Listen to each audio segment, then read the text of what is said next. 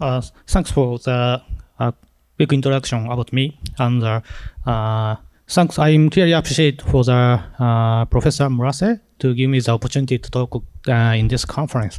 And also, the, I'm really appreciate for the International Research Unit of Advanced Future Studies at Kyoto University. Today, I would like to talk about the, some of the research about the D amino acid in life science. We are studying the uh, D amino acid in the protein. Okay, uh, in this morning session, uh, I could see a lot of the interesting the, uh, presentation for the universe. And uh, uh, our institute has a, a bottom picture, and we have the two research reactor. So we can use a very intense radiation for our research. So maybe I can start a new project the, for the protein and the irradiation so I think it's very good for me in this uh, morning session. Okay, now uh, we are from the Osaka. It's uh, next to the Kyoto, and uh, in uh, some people are using the Kansai International Airport, maybe, and uh, our institute is close to the airport. So maybe from the airport you can see the two reactors. Anyway, today my, so, my story is about the amino acid. So this picture is the backside of the uh, to, uh, drink. Uh, in the drink, uh, in the backside of the can, there are some materials. They label the, uh, for example, the uh, upper panel shows uh, I wrote the pink line. It's a arginine, one of the amino acid. The bottom picture, there are the four amino acid. The valine, leucine, isoleucine, and threonine. But for all of the amino acid, you can see the small size L. This indicates that all of the amino acid is a L amino acid. Amino acid is a chiral molecule, so actually they have the two uh, uh, two ways. One is a uh, L amino acid. Now you can you could see on previous picture, and the other one is D amino acid. It's not normal in our life but uh, when you synthesize the amino acid in the laboratory, you can get uh, both amino acid 50 and 50, L1 D amino acid. Both have the same structure, uh, same chemical, same uh, physics. But uh, uh, bo both are not the same structure in the case of the protein. So, by some reason, in our body, in our protein, there is only L amino acid is a, a component of the protein. People say this as a homochirality.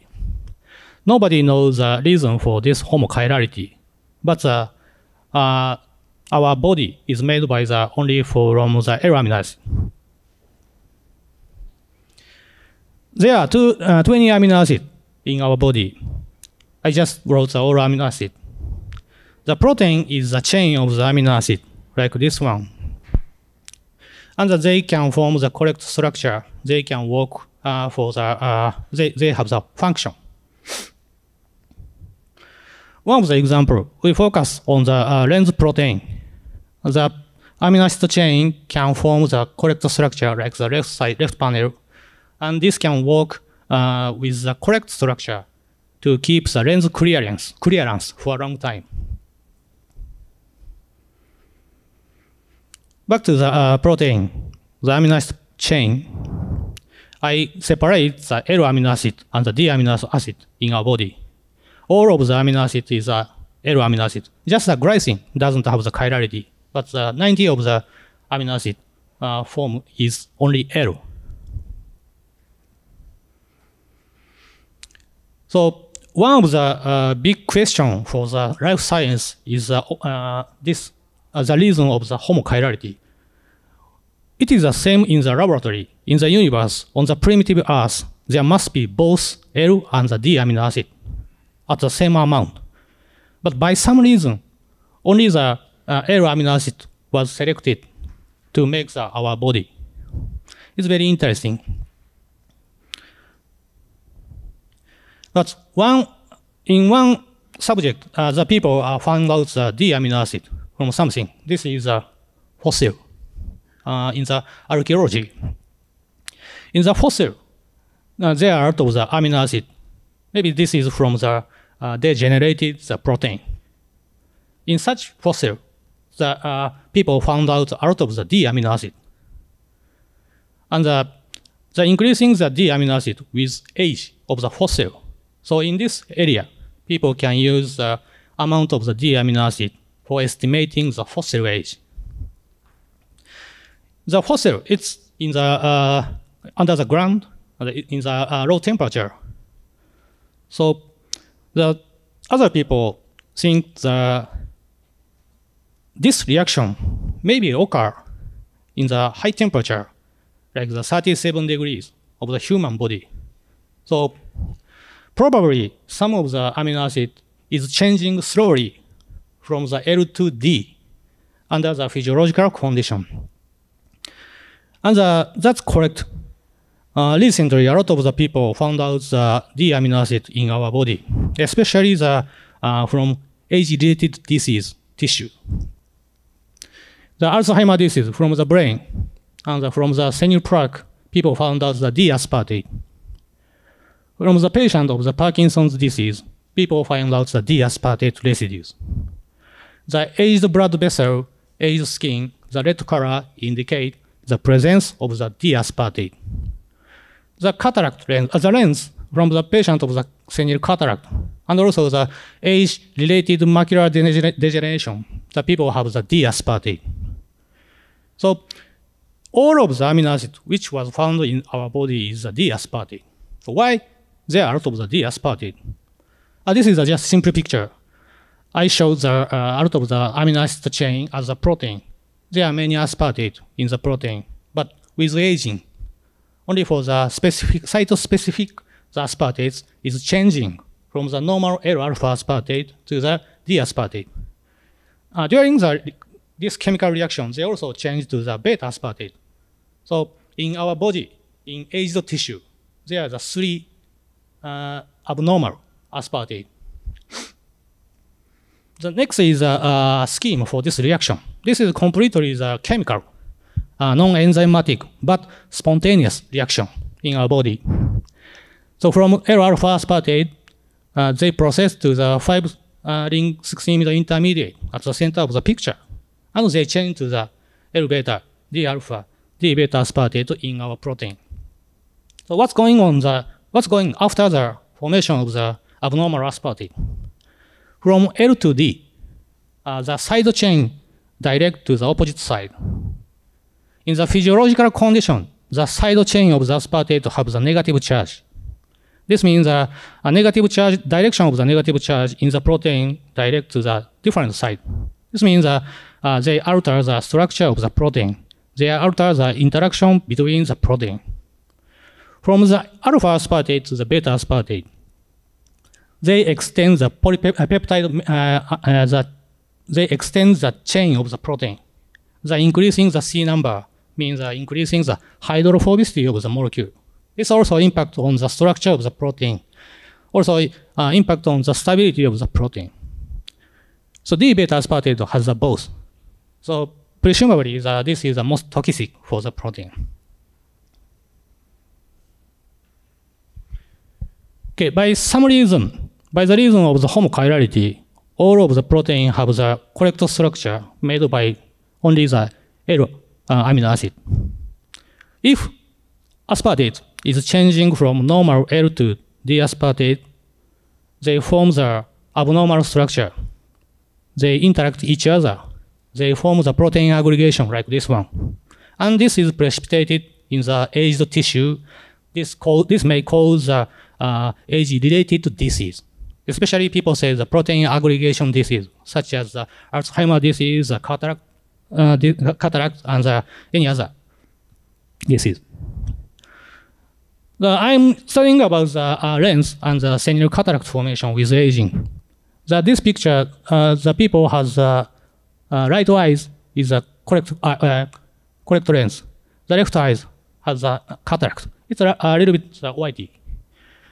So when we was young, when we was young, the, uh, the, our lens has a correct structure and a correct function to keep the lens clearance. So we can see the very beautiful picture. But with aging, it's a little bit uh, whitey. At the 50, 50 years old, the picture is a little bit whitey. At the 80 years old, uh, these people cannot see the anything. We cannot escape from the cataract. About the 40 to 50 percent of the people who have the, who are the uh, 50 years old has the cataract, and the, over the 80 years old, almost the 100 percent uh, people has the cataract. When you go to the outside, and if you feel that something is very shiny, it's already starts the cataract. This is a simple model for the formation of the cataract. The normal L alpha, uh, L alpha uh, L amino forms the correct structure of the lens protein. They can keep the clearance of clearance of the lens. Once they form the abnormal amino acid in the protein, they form the aggregate precipitated in the lens. Uh, inhibit the uh, sight of the uh, from the eye, and you cannot see anything. So it's very important reaction, but so far nobody knows. There is a reason. So this is the reason about the why no one knows. Usually, when we analyze something, when we check the correct, uh, correct structure of the protein, correct structure of the amino acid, we are using the mass of the amino acid. But the alteration from the L amino acid to the D amino acid doesn't change the molar mass. By this reason, uh, when we check the everything, we cannot find out, we couldn't find out the abnormal amino acid from the protein. And the, to identify the abnormal D amino acid, in my case D aspartate, I develop, we developed the method to identify the D aspartate. To do that, we are using the mass spectrometry. Mass this is a, a, brief introduction of the mass spectrometry. We are using the tissue for the, this instrument. In the PC, they can calculate, they, they, they can get a lot of the data. They automatic analyze for the each amino acid, and they can give the result. Usually, we just uh, check the result, but we don't know the, what's going on the PC. So to identify the abnormal, the same molar mass, the D aspartate, we change the method for the, this instrument. It is very simple, different from the original one. We just calculate the abnormal aspartate, uh, abnormal uh, amino acid, and the, ask the PC to uh, whether the present or not present the same molar mass with different something.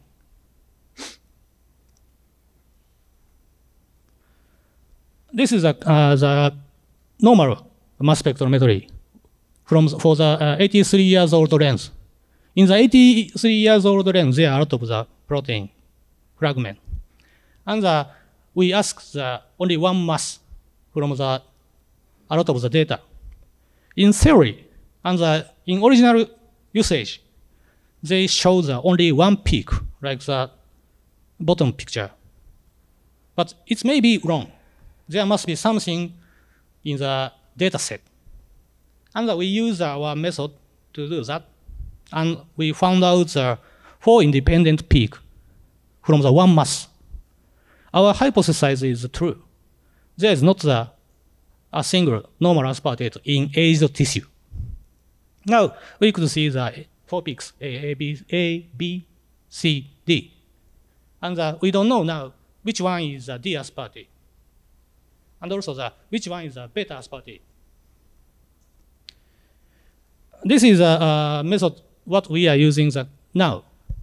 Uh, after getting the multiple peak from the, from the aged tissue, we added the enzyme, three different enzymes. One enzyme is the uh, digest for the normal L-alpha aspartate. The peak shows the mass. Once they digest to the 2, the mass is a different one, different two. so when we choose the one mass on the system, the peak is deleted as a right top panel. Now we can see which peak is from the normal L-alpha aspartate. The second enzyme, which is which add the methyl residue for the amino acid, uh, L-beta aspartate. After adding, after modify the peptide, uh, after molecule the amino acid, they change the molar mass, increasing the 15 Dalton. This is the same as the digestion. They are going out from the one mass, they show the different mass. I mean the peak is deleted at the B. Now we can see the which one is from the L-beta aspartate. And finally, we are using the uh, D-alpha aspartate digestion. It's the same as the L-alpha aspartate digestion. From this data, we can say the C is from uh, C is from the D-alpha aspartate. Now there are no enzyme to identify the D-beta aspartate, but when you see the three picture, there is only one peak which was not digested, which was not modified from any other enzyme, D. Now we can say D is from the D beta aspartate. I use this method to identify, now we are using the, this method to identify the abnormal aspartate. And we can see the L alpha, L D beta aspartate from the aged tissue. Now, we need to check the uh, ratio between the L and the D and also the age of the human. So we get the out of the eyeball. We use the uh, oral eyeball for the, this assay. Compare the each age dependent as, as uh, from the each age. The merit for our method is a very fast. In this assay, we can do everything only for the two days. But if we choose a classic method, like the way for the fossil, we needed the uh, 100 days. So by with our method, we can use this method for the lot of the eyeball and to get the lot of the data to compare the each age. And this is the result. So red line shows the normal L-alpha aspartate at the position of the uh, blue ball in that structure. This is a lens protein. On this aspartate is changing from L-alpha aspartate, red line, to the blue line. Blue line is increasing with aging. Blue is a D-beta aspartate. Like this way, it's very clear. They have the age dependence.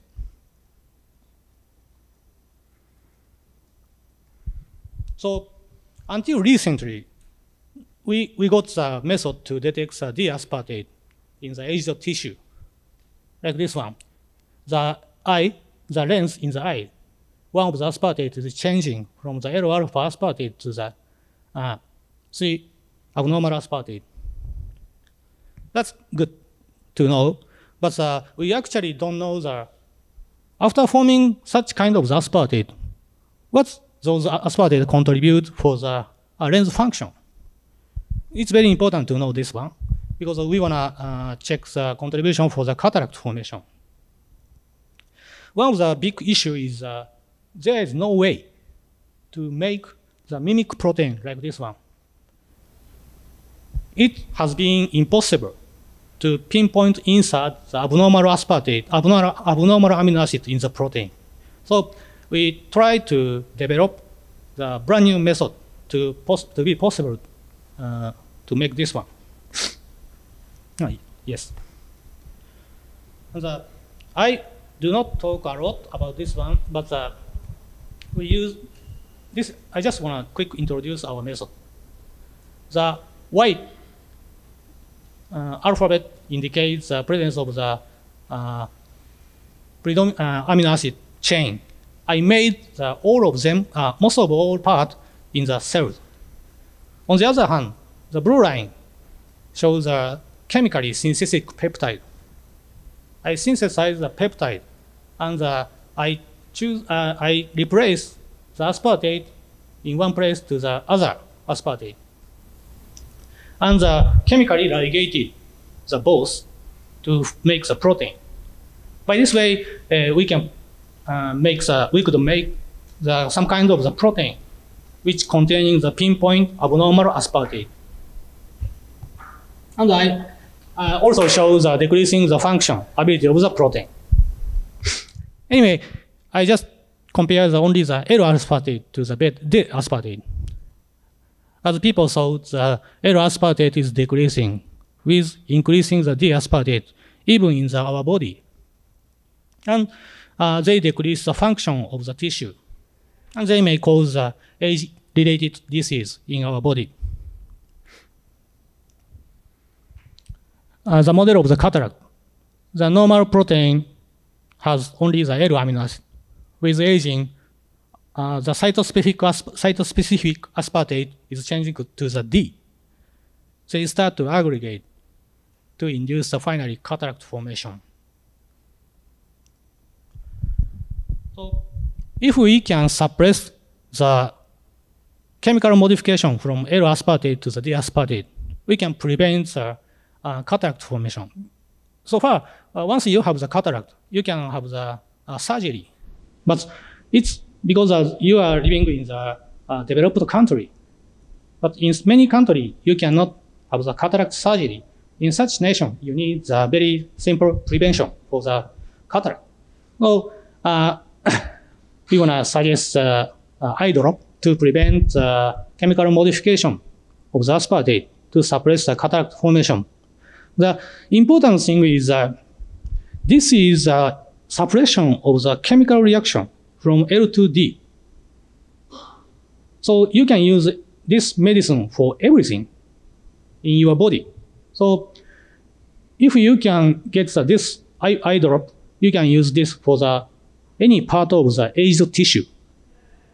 So probably uh, it's possible to prevent uh, any of the age-related disease. This is uh, made by the D-aspartate formation, and the, it prevent the aging to keep the quality of life in the later phase of your life.